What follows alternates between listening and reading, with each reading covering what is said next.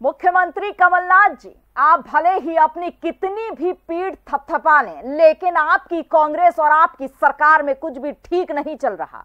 यह हम नहीं कह रहे हैं।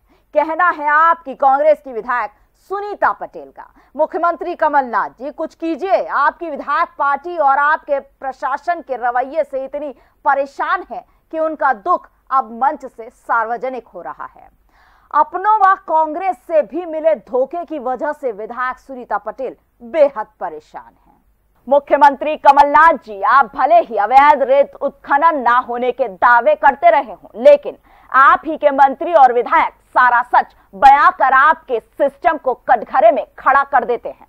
अब गाडरवारा की विधायक सुनीता पटेल को ही देख लें। वर्मान मेले के उद्घाटन मौके पर विधायक सुनीता पटेल रेत के अवैध उत्खनन पर व्यथित नज़र आई और उन्होंने यह भी बोल दिया कि माँ नर्मदा की गोद में बैठकर रोने का मन कर रहा है कि वे रेत का अवैध उत्खनन नहीं रोक पाई।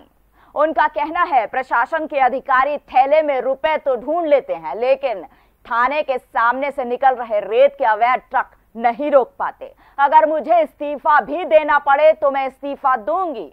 मैं रेत के अवैध खनन रोकने का वचन पूरा नहीं कर पा रही हूँ। कमलनाथ जी आपके एक साल के राज में विधायकों का ये हाल है। पूरी मेहनत की। लेकिन मुझे तीन तरह से धोखा मिला। दूसरी पार्टियों से भी मिला, खुद की पार्टी से मिला, और प्रशासन से भी मिला, और सबसे ज़्यादा मेरे अपनों से मिला। माँ नर्मदा के सामने मैं कहने से कभी नहीं चूकती, क्षेत्र की जनता के सामने कहने से नहीं चूकती कि मेरी तन में जितनी सेवा करने की शक्ति थी, एक साल हो गया मैं चैन से नहीं रह पा रही। सुबह शाम फ़ोन लगाती हूँ, यहाँ से रेत जा रही हूँ वहाँ से रेत जा रही है।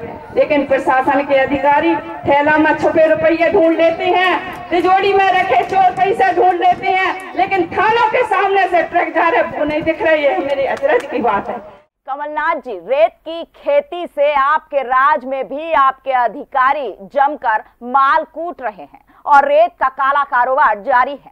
आपकी विधायक सुनीता पटेल की माने तो उन्हें रेत के काले कारोबार को लेकर कांग्रेस और प्रशासन से धोखा ही मिला है। आप ही के लोगों का कहना है, जब मंत्री अधिकारियों से कहें तो कार्रवाई कर दी जाती है। बाकी रेत का अवैध धंधा अधिकारियों की नज़र में तो आता ही नहीं है। बड़ा दुर्भाग्यपूर्ण विषय है कि जब मंत्री प्रशासन को बताए तब कार्रवाई हो रही और प्रतिदिन कहीं ना कहीं प्रशासन की मिली भगत से ये सारा अवैध उत्खनन चल रहा था। जब मंत्री संज्ञान में लाए, तब तहसीलदार, एसडीएम कार्रवाई करते हैं। प्रतिदिन उनकी नज़रों के सामने ये सारा अवैध उत्खनन और ओवरलोड और बिना रॉयल्टी के सारे रेत का खनन हो रहा है।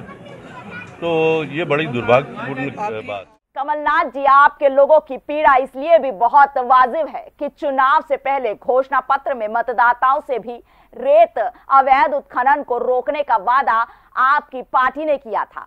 कमलनाथ जी कभी मैदान में जाकर भी हाल देख लिया करें कि आपके राज में आपके लोगों की ही क्या गत हो रही है।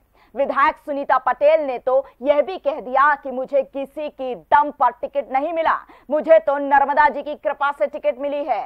मैं इस्तीफा दूँगी तो सबसे पहले नर्मदा जी को दूँगी इसके बाद ज़रूरत पड़ी तो विधानसभा के समक्ष धरने पर बैठ जाऊँगी। संगीत की स्वर लहरियों से सांस्कृतिक ताने बाने तक चंबल के पीड़ों से नक्सलवादियों के गढ़ तक झोपड़ी से महलों तक। ठेलों से मेलों तक। पगडंडियों से सड़कों तक। गाँव से शहरों तक। व्यापार से उद्योगों तक। राजनीति से कूटनीति तक। दखन न्यूज़। आपके हक।